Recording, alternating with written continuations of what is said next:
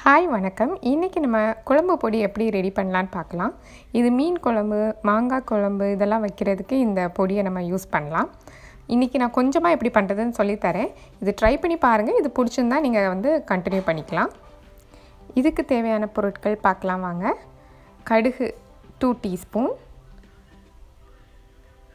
வெந்தயம் two teaspoon ஜீரகம் one teaspoon ஓமம் டூ டீஸ்பூன் ஃபஸ்ட்டு ஒரு பேன் எடுத்துக்கோங்க. அதில் வெந்தயம் ஆட் பண்ணி ரோஸ்ட் பண்ண ஆரம்பிச்சிருங்க. அதை கருகாத வரைக்கும் நல்லா ரோஸ்ட் பண்ணுங்கள் உங்களுக்கு கொஞ்சம் டைம் போகவே நல்லா அரோமா வரும். மீடியம் ஃப்ளேமில் வச்சு ரோஸ்ட் பண்ணி விடுங்க.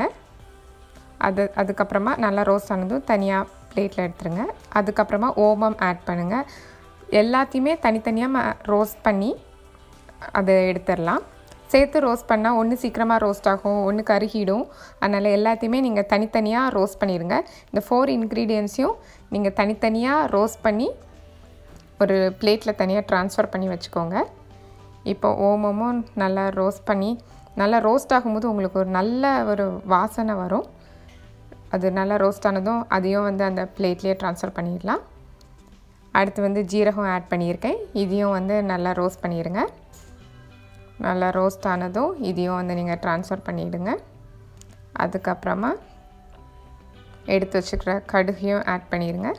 இதையும் நல்லா ரோஸ்ட் பண்ணுங்கள் இதுவும் ரோஸ்ட் ஆனதும் நீங்கள் பிளேட்டுக்கு ட்ரான்ஸ்ஃபர் பண்ணிவிடுங்க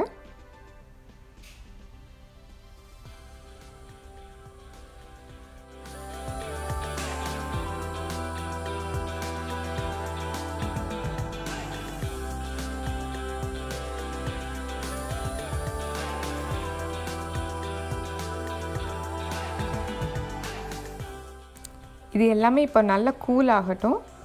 நல்லா கூல் ஆனதுக்கு அப்புறமா நம்ம இப்போ எல்லாத்தையும் ஜாரில் ட்ரான்ஸ்ஃபர் பண்ணிடலாம். ஒரு மிக்சி ஜாரில் இதை வந்து நீங்கள் நல்லா ஃபைன் பவுடராக வந்து நீங்கள் அதை பொடிச்சு வச்சுருங்க. இதை நீங்கள் எப்போ வேணாலும் மாங்காய் குழம்பு இல்லை மீன் குழம்பு செய்யும்போது இதில் வந்து நீங்கள் ஒரு டீஸ்பூன் எடுத்து யூஸ் பண்ணிக்கலாம். குழம்பு பொடி இப்போ ரெடி ஆயிடுச்சு. இந்த வீடியோ உங்களுக்கு பிடிச்சிருந்தா லைக் பண்ணுங்கள் கமெண்ட் பண்ணுங்கள் ஷேர் பண்ணுங்கள் சப்ஸ்கிரைப் பண்ணுங்கள் தேங்க்ஸ் ஃபார் வாட்சிங்